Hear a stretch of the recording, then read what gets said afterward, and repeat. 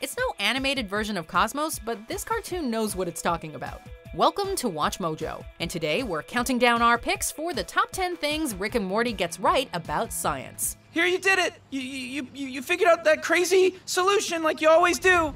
Hey everyone! Just want to take a moment here to give a shout out to today's sponsor, the mobile RPG Raid Shadow Legend. Raid is the new free to play collection RPG that is taking over mobile gaming. Almost 10 million players worldwide have already downloaded the game in just three months. Collect and customize over 400 champions with 1 million plus champion builds, and assemble a team from 16 heroic factions.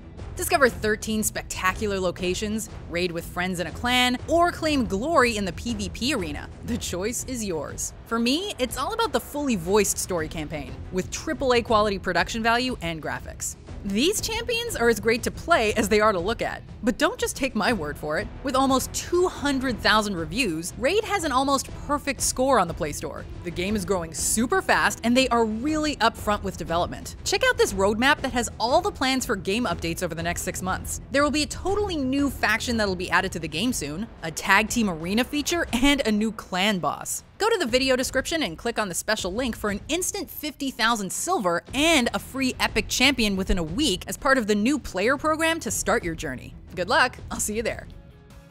For this list, we're taking a look at scientific principles depicted in Rick and Morty that surprisingly aren't without merit. We're including science that isn't possible yet, but could theoretically exist in the future, as well as scientific theories. Uh, terrific. The fart that pooped gold. No wonder every cop in the system is looking for us.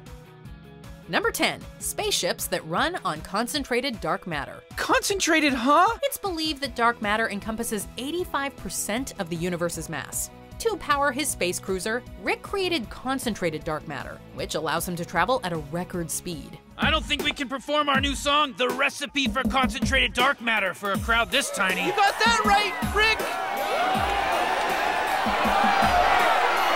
More, more like it!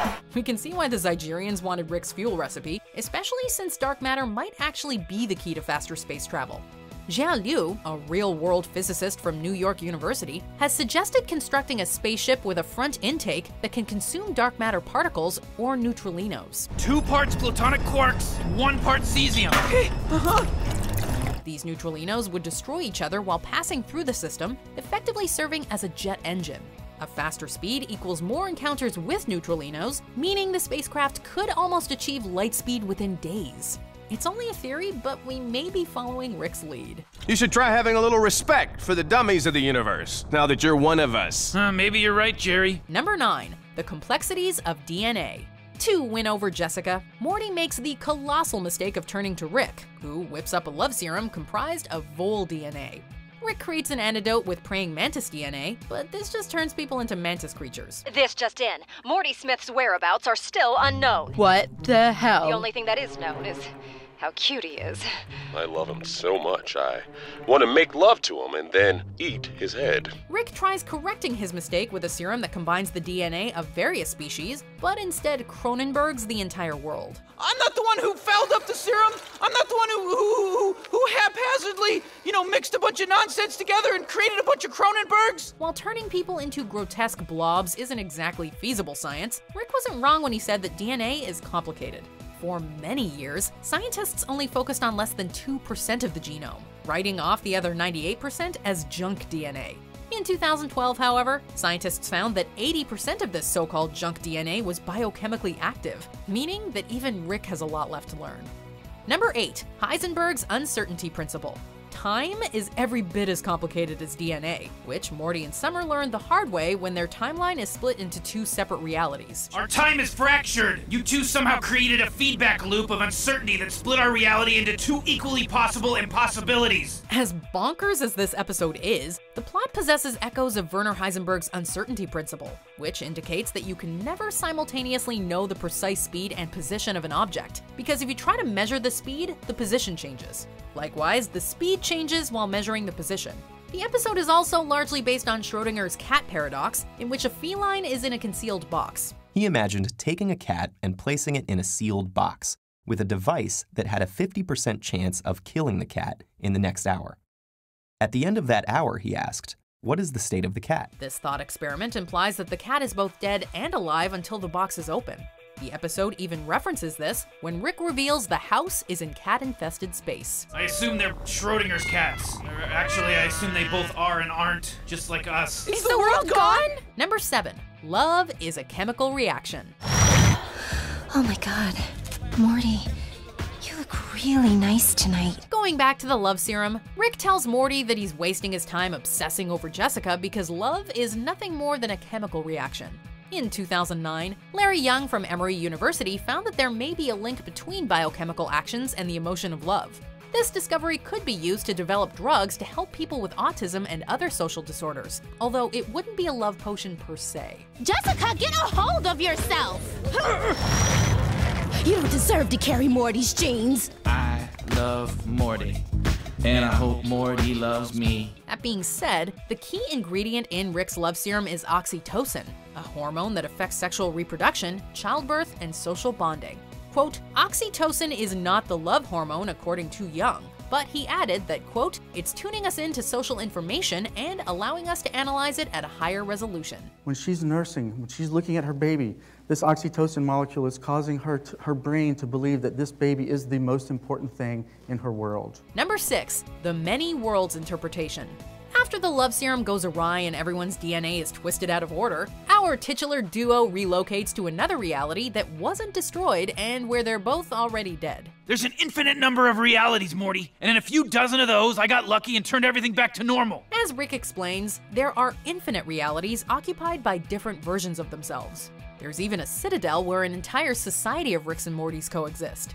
While we're still waiting for someone to invent a portal gun, the show's perception of alternate realities does take a page from the many worlds interpretation. According to this interpretation of quantum mechanics, our universe is basically one branch on a tree with countless other branches that represent alternate realities. Virtually any action, such as putting a cat in a box, can create multiple realities with different results. Number 5. The probability of Anatomy Park. With a homeless Santa on his deathbed, well, death ping pong table, Rick shrinks Morty down and injects him inside. Oh my god! This is insane! Spleen Mountain? Ladder Falls? Morty finds that the man's organs have been converted into a theme park, and the diseases on display are running wild. The episode borrows a fair deal from Fantastic Voyage and Jurassic Park, which are both admittedly more science fiction than science fact. Even if shrink rays are likely destined to forever remain on the drawing board, this concept isn't deprived of some scientific backing. In 2015, microscopic machines successfully ventured inside a living mouse to deliver nanoparticles. The next logical step may be to send these machines into humans to release drugs. It'd certainly be much safer than sending Morty in there. the nipple hole. It's beautiful. Number 4. Freezing people.